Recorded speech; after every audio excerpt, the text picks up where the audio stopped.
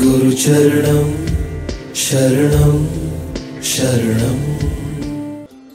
ತಂದೆಯಾದವನು ಪೂರ್ಣವಾಗಿ ವಿಶ್ವಾಸದಿಂದ ಪ್ರೀತಿಯನ್ನು ಪ್ರೀತಿಯಿಂದ ಕರ್ಮಗಳನ್ನು ಕರ್ಮಗಳಿಂದ ಪುಣ್ಯವನ್ನು ಹಾಗೂ ಪುಣ್ಯದಿಂದ ಭಾಗ್ಯವನ್ನು ಸಾಧಿಸಿದ ವ್ಯಕ್ತಿಯಾಗಿರಬೇಕು